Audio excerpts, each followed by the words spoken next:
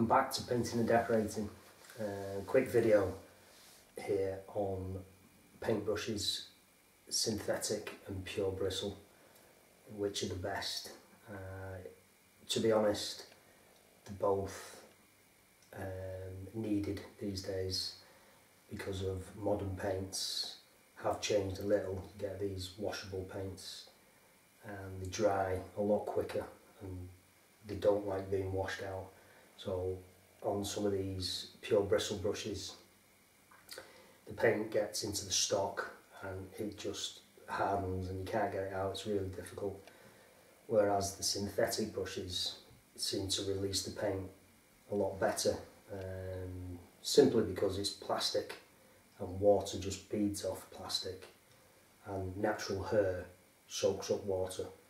Um, that's that's the reason anyway. So let's just have a quick look. So on the job at the minute, I'm actually using this uh, Valspar excellent opacity, tough, durable, scrubbable. Now, with it being scrubbable, I've been using a synthetic brush and it's so much easier because brush lets the paint come off a lot better. Um, pure bristle, the stock ends up swelling uh, and it's a nightmare when you come to clean it out. Excuse me, I said, I said on a job I'm at the minute, I've not been off for flipping, this is my second week off, I've got the flu. Oh, I've had the flu, I'm actually coming out of it now. Right. Um, so yeah, so some paints, it doesn't matter which brush you use really, you can use a pure bristle in some of these water-based paints.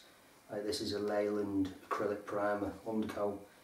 Um, it's a fast drying undercoat, but it doesn't dry as fast as some of these modern paints that have got the um, more resins in them, uh, the more tough actually than the ones. So there's one, that's a Leyland undercoat, and that's a, a Leyland fast drying gloss.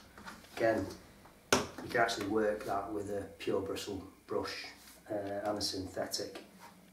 It doesn't dry amazingly fast, and, and I quite like it actually, it does leave a good finish. The durability of it, a bit dodgy I think, but um, again, some of the emulsion paints, contract emulsions, normal vinyl matte emulsions, anything that isn't a washable paint, uh, you can use a pure bristle brush.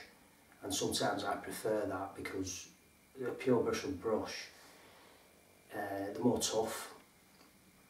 Uh, they stand, they're knocking about when you're getting it into corners and things like that. Some of these synthetics over time, they can uh, start splaying. But it's like I said at the beginning, you actually need both brushes in your box these days, all depending on what paint you're using. Uh, you might have gloss one day, water-based the next day. You might even want to buy some cheap brushes now and then because you may be using some special paints that hard, harden really quick, two-pack paints and things like that, uh, bituminous paints. Um, there was something else I was going to mention then yeah, the fact is, in painting, there's certain jobs that people specialise in. So you'll have a certain kit and you won't need half the stuff, say, that I need. Because basically, I'll paint anything. If you phone me up and say, can you paint this? I'll, I'll give it a go, basically. But some people specialise in just new builds or certain other areas of painting.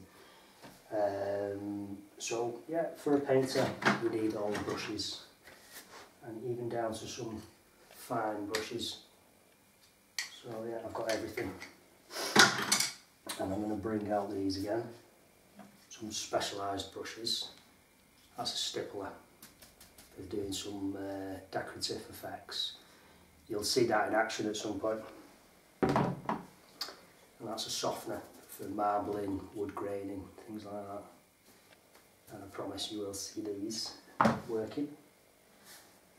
Uh, and that's a flogger. Um, they're all natural, pure bristle. I think that one's badger hair. quite expensive, but uh, good brushes. Right, that's it for now.